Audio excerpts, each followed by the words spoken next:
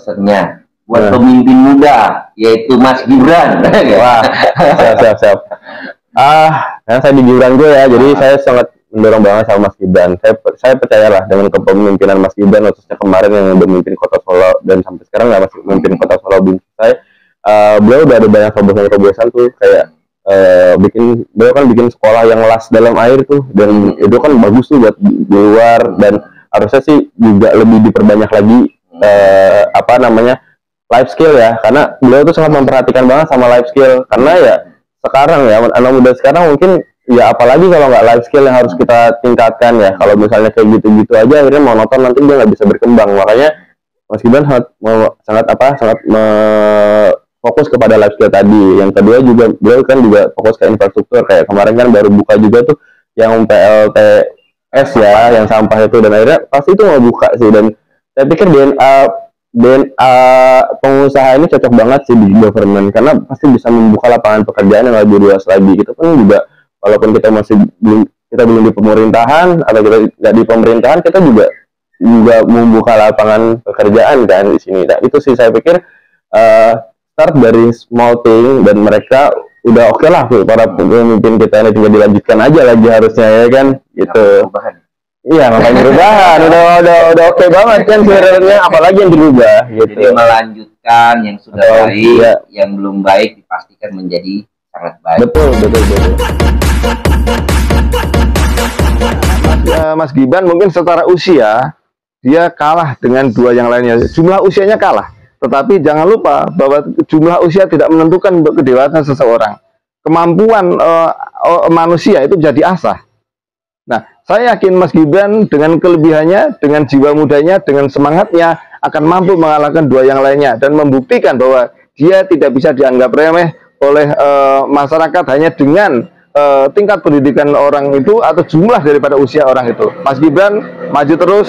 Saya yakin bangsa ini membutuhkan Anda untuk membangun uh, bangsa ini menjadi yang lebih baik di masa yang akan datang. Dilihat dari kacamata orang, dia adalah uh, pemuda yang uh, lugu, pemuda yang uh, tidak seheroik daripada uh, dua capek uh, yang lainnya. Tetapi bangsa ini tentu uh, membutuhkan uh, tadi uh, semangat muda tadi. Semangat muda tidak bisa dikalahkan hanya dengan penampilan, tapi dengan kemauan dia memimpin. Sebagai contoh dia memimpin di Solo, itu menggambarkan bahwa Mas Gibran memang cukup memang mampu untuk memimpin bangsa ini dan naik kelas menjadi pemimpin bangsa uh, di masa yang akan datang. Gitu. Kalau bicara heroisme, kalau bicara kemampuan berbicara sudah ada Pak Prabowo Nah, Mas Gibran nanti harus mampu menjadi penggerak mendampingi Pak Prabowo dalam memimpin bangsa ini. Jadi jangan kalah, jangan mau uh, dipersepsikan uh, lebih uh, rendah daripada dua yang lainnya.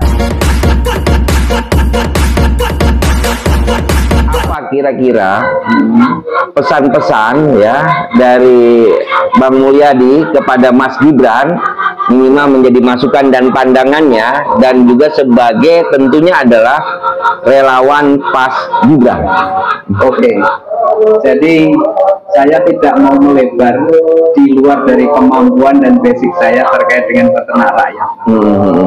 Yang terpenting bagi kami, perjuangan kami sudah kami lakukan membangun close atau membangun namanya hilirisasi di pangan, khususnya di peternakan ayam, uh, ya harapan kami Mas Gibran itu kemudian nanti salah satu programnya terkait dengan hilirisasi pangan ini bisa diwujudkan bang.